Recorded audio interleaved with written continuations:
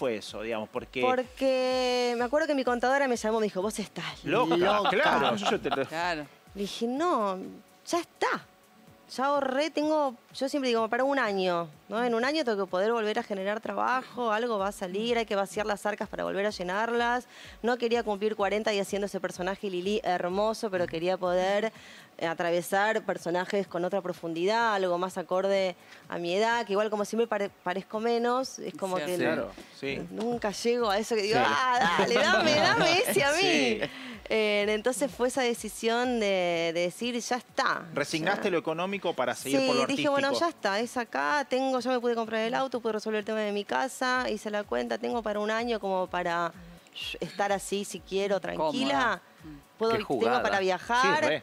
Listo, a otra cosa. Y ahora tu contadora, ¿qué dice?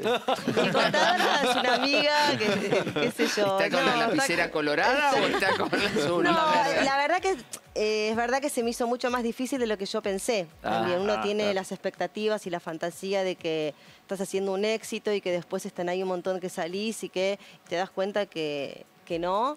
Y eso es todo un aprendizaje también, eh, porque empiezan a aparecer otras cosas. Siempre como en el escenario, siempre muchas veces agradecemos cuando aparece el accidente y uno se pone nervioso, pero en ese accidente que sucede en escena te trae otra vez al presente y volvés a estar en esa acción, ¿no? De estar más viva, de, correrte del automático, ¿no? Porque muchas veces entramos en que hacemos las cosas porque sí.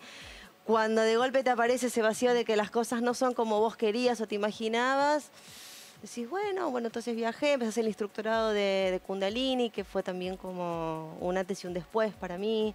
En- y te das cuenta que también hay muchas cosas para hacer en, en la vida, abajo del escenario y fuera de la tele, ¿no? Que muchas veces tenemos miedo de que cuando salís de acá, Claro. Como que la vida se termina, pero ¿Y no pensaste en autogestionar una obra, Hice, dirigir? hice Eh, autogestión. De hecho, Geda Gabler, cuando yo me fui de Tok Tok, hicimos este, en una obra Geda Gabler, que estuvimos un año haciendo la adaptación con Naila Pose y después casi dos años ensayando con María Badi. Mira. Eh, estuvo genial, sí, sí. Los actores siempre hacemos Sí. autogestión. Claro, si no sí. fuese por la autogestión, Claro. no podríamos sostenernos en, esta profesión. Claro. Y es mucho el aprendizaje, es mucho también el cuerpo. Hay veces que no tenés ganas de armar, de planchar, de coser, de, de- de- de Sí, tener sí, que sí, hacer todo. todo. Pero cuando es en equipo, en lo colectivo, siempre hace a que aparezca la magia, de magia. lo que nos gusta. Cuando trabajamos, creo que somos, y hablo, me, me atrevo a decir de que tenemos este, el privilegio y el beneficio de que hacemos lo que nos gusta. Entonces eso siempre nos da un plus de, de cuando lo estás haciendo y a lo mejor cuesta que después el, el goce es infinito. Entonces es Claro. también, este, así como también te la pones, ¿no? Pero en ese golpe... ¿Y ¿Cuál es eh, la obra de teatro que estás esperando que algún día te llamen el personaje? No, no sé. Ahora voy a empezar a ensayar una que tenía muchas ganas de hacer, también de Ibsen, una casa de muñecas. Ah, que quería sí, hacer sí, ahora. sí. Entonces, este, ahí me voy. Y hay algunas que ya estoy grande y sé que no la voy a poder hacer. Pero quería estar grande vos. Sí, pero bueno, hay algunas que ya... Este, Ya pasaron. Ponete de acuerdo. Ponete de acuerdo. Bueno, viste Esta- la contradicción Bueno, por pero parte de escribís la también, vida, ¿no? Susana. ¿Escribís también? Claro. Claro. No. O, o- escribiste alguna vez o tuviste el plan? Estuve No. leyendo Los algo así como que... No, proyectos, y algo que me llamó la atención, que a los 12 años, a ver si es cierto A ver, esto, soplaste la velita en un cumpleaños pidiendo tres deseos y que los tres deseos eran ser actriz. Quiero vivir de mi vocación, quiero vivir de mi vocación, quiero vivir de mi vocación. ¿Por qué, qué fuerte la vocación a los 12 Claro. años, digo, tener Siempre los tres ser deseos actriz. con y eso, la tuve que me cuando era la chiquita, en- ¿se acuerdan de Mesa de Noticias? Claro, Sí. obvio. Verónica Goldstein era una de las hijas del Gordo Mesa junto con Eleonora Wexler. Y Vero iba a la primaria conmigo. Entonces cada vez que necesitaba una extra para que le haga de amiguita, yo me iba en- con ella. Entonces me acuerdo mucho de Canal 7, me acuerdo de Gianni Luna Day, pero, Ay, qué maravilla. Mm. pero no me Qué así, pero ah, no lo podía de entrar a Canal 7 que no, la- no lo podía Una creer. En- en aquel gigante. momento No, en que aquel estaba- momento, me acuerdo de Cris Morena con su pelo así largo. No. Primero, segundo. Y yo dije, yo quiero ser actriz, yo quiero Yo ser quiero actriz, yo Claro. quiero ser actriz. Y empecé a decime, estudiar.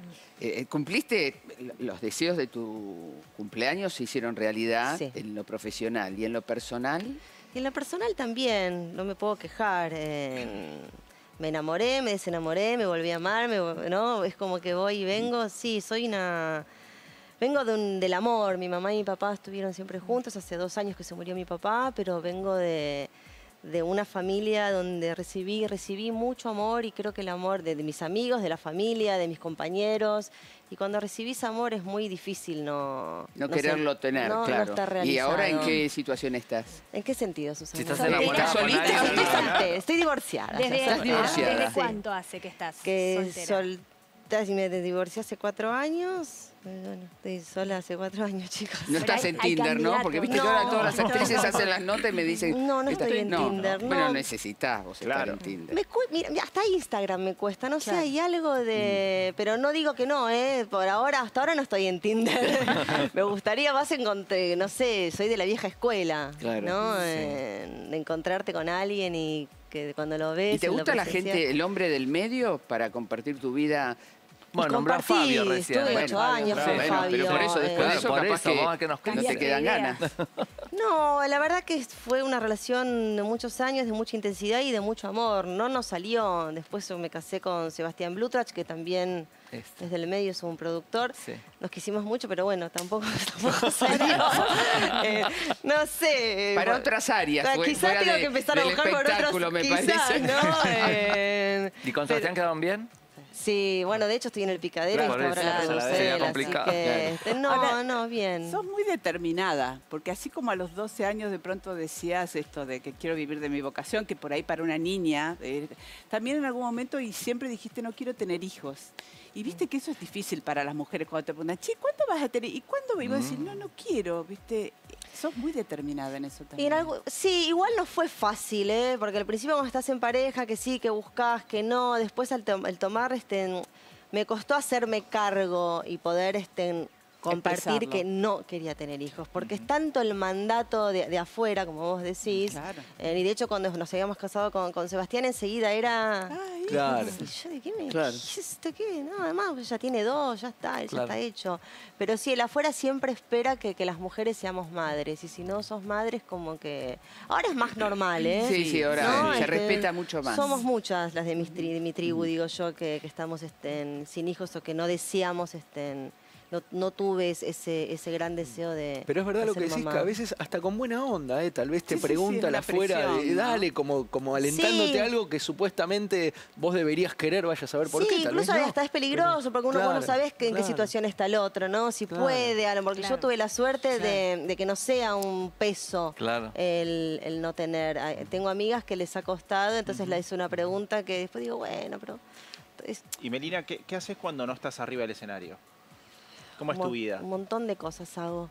Eh, practico mucho Kundalini Yoga, tengo mi práctica personal y doy clases. Ah, Eh, en, ahora en la pandemia me agarró, yo estuve en mi casa en la playa, tengo una casita, ¿viste? son esas cosas que vas aprendiendo, que decís, bueno, cuando no vas a tener trabajo, ¿dónde querés estar? A la playa. Bueno, pero Eh, voy a la playa. Ajá. Eh, y, es más fácil, eh, por lo menos ahí la pandemia se vivió de una forma mucho más amable y ahí estuve muy conectada con la huerta, con tener un perro, con Que es salir la a provincia de. Buenos Aires, ¿no? Está entre. Mar Chiquita y Santa Clara del Mar. Ajá, bien.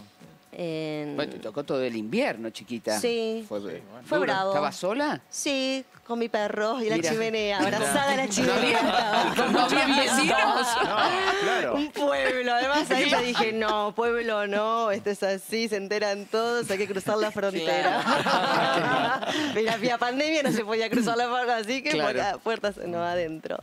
Eh, leo, ahora estoy empiezo a ensayar otra obra de teatro, me gusta mirar series, este, me gusta tener tiempo libre, yo soy una persona que disfruta del ocio, no tengo ninguna culpa ni ningún sufrimiento por no tener que estar en actividad y tener que trabajar. Gracias a Dios, a mí no me agarró, me agarró el chifle por otro lado, por ahí no. No, acá todos cargamos siempre con, Sí, alguna sombra o alguna neurosis que, que destra- no, yo tengo una melina que la tengo encerrada bajo 25 llaves. A veces hace así para salir y yo, "Shh, tranquila. no". Melina, ¿y te cuidas el cuerpo? Digo, en las comidas siempre has sido delgada, pero ¿te importa cuidarte el cuerpo? Me cuido por una cuestión de salud más que de estética. Creo que todo acompaña, ¿no? Y más que nada el, el practicar yoga en sí así- a- hay algo ahí que te, que te lleva a la práctica misma a tener cierta disciplina. Este, en solo te empieza a pasar. Al principio quizás estén, sí, pero no, yo tomo vino, tomo cerveza, como chocolate, como helado, como papas fritas, como de todo. Se te ve tan equilibrada que me cuesta ver por dónde puede ir el chifle que decías La recién. menina que está encerrada. La Hace un tiempo divina. vi en, en la televisión, hace un tiempo, sí, me vas a corregir, en la televisión pública un trabajo muy lindo que trabajabas con tu hermana. Volver a nacer. Exacto, a mí me gustó muchísimo. Hermosa serie. Eh, ¿Tienen pensado alguna vez volver a trabajar juntas? Mm, No. ¿Viste? Te sabes la determinación. Decidida, no. Muy no, eso fue una determinada, experiencia. muy. Sí. eh, El libro lo pedía, ¿no? Juli quería, mi hermana estaba con muchas ganas Sí. de, de hacer una serie juntas. En su- En su momento era una novela y siempre relaciona la dictadura, estas dos Sí. hermanas que nacieron Y fueron separadas.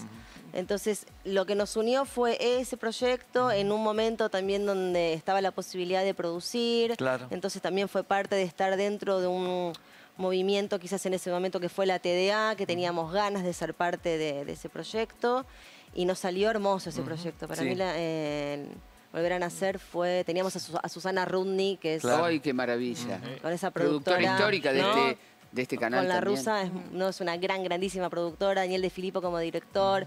Daniel Fanego lo, lo tuve. Exacto. Hicimos un, Alicia ¿no? Que la es adoro. mi Alicia. Bueno, eso fue lo último que hizo Alicia Exacto, con, claro. con nosotros. Sí. Y fue hermosa esa serie por todo. eh, por Se el dio pro- todo. Sí, y además el objetivo, porque trascendía el placer de actuar, sino que había un, un sentido más profundo que era poder contar una ficción sobre lo que nos había pasado y con el objetivo de que si había del otro lado alguien que dudara de su identidad, se anime a, A- a decirlo, a buscarlo. a salir a buscar y con el deseo también, porque también esas- esa ficción pudimos, estuvo, en- México, estuvo en España, ¿no? Este deseo de que pueda cruzar la frontera, sabemos de que quizás había alguien o alguno o alguna que la vea y diga, ¿y si Mirá, me pasa a mí? Entonces Claro. era también ese, ese plus importante hacer Y esa ficción, así como fue la vida de Rafael que Claro. hicimos, ¿no? Claro. Que tenía que tener un, en el fondo algo ¿Y haces importante. casting? ¿Haces casting? hice ¿Viste? Están las plataformas, muchos hacen casting para la serie Maradona, por ejemplo, para dar un Ay, qué ejemplo. hermoso. Me pero digo- lloré todo, chicos, con esa serie. sí? Yo, por Dios. Me paré de llorar. No sé a ustedes qué les falló. Todo me lloré. Pero, Pero sí. ¿eh? casting para las plataformas, digo. Hice ahora eh, para Disney. No me fue bien, pero la hice. Ah, bien. bien. Bueno, Yo lo intenté. Y con la serie Maradona, ¿por qué te lloraste todo? Digo, creo sos que me llevó futbolera, digo, a- tenías el personaje, te... A él lo amaba, ¿no? Como todos. Pero primero que me emociona. Ay, sí, él te emociona. Los, mis compañeros tan hermosos, todos. Claro, Pepe bien. para ¿Viste mí. Oh, lo que bueno, era? Divino. una ternura. Jean-Pierre, en- sí, la verdad que Y Juli, Sí.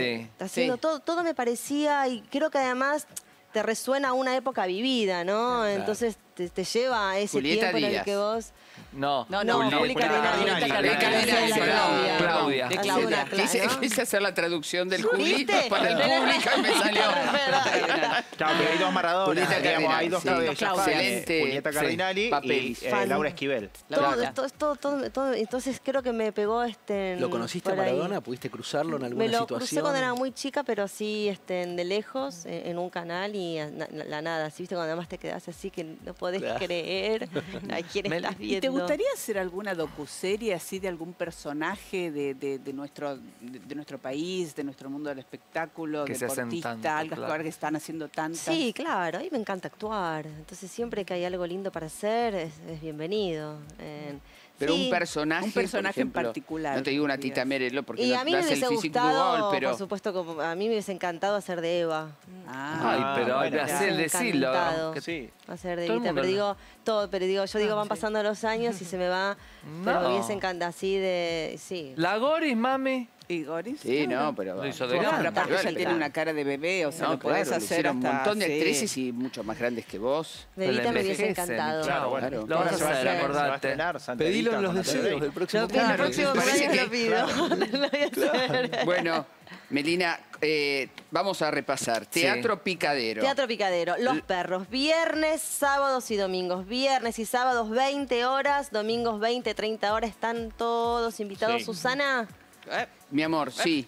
¿vas a venir al Sí, teatro? eh, sí, te Yo voy te a estoy contar comprometiendo a- Yo voy. ahí. Yo, eh, vos sabés que me pasó una cosa, yo siempre quiero que promocionar el teatro, también el cine obviamente, eh, la radio, todo, todo lo que sea artístico y, y un medio de comunicación, yo quiero que pase por este programa para apoyarlos y apoyarlos justamente a todos ustedes, de los cuales trabajo hace más de 30 años.